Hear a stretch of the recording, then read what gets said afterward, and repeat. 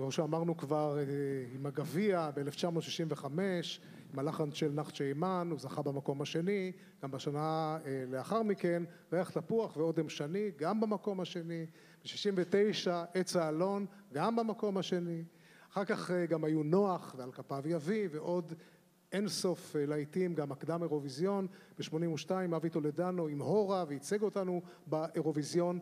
אני מבקש להזמין לבמה את מי שתשאיר לנו עכשיו מחרוזת משירים שכתב יורם טהרלב לפסטיבלי הילדים והפסטיגלים, חני נחמיאס.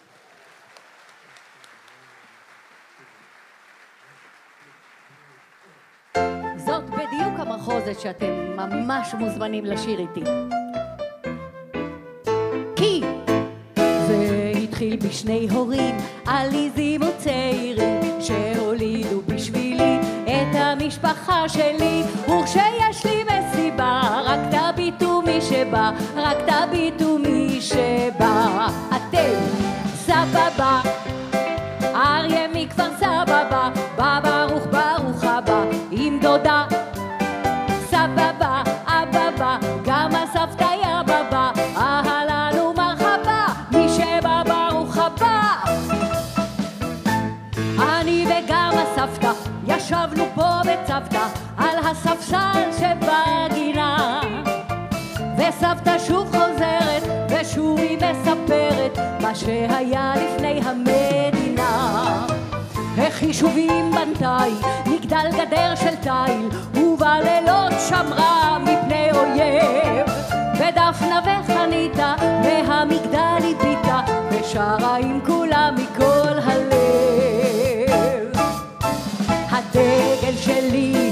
כחול ולבן אתמול, היום וגם מחר. הדגל שלי הוא כחול ולבן כמו הים והמדבר. הדגל שלי אתמול, היום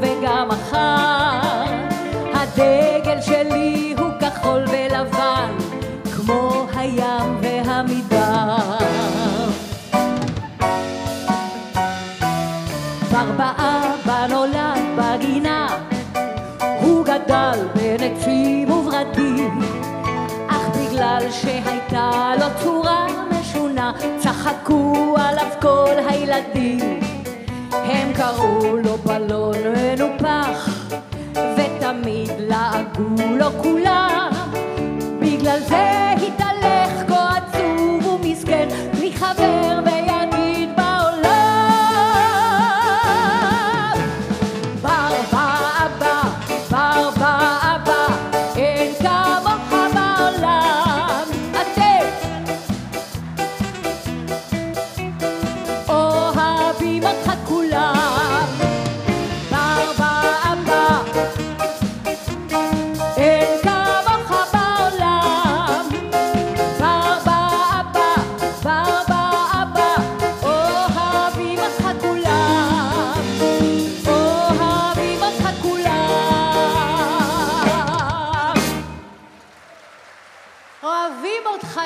יורם, כולם.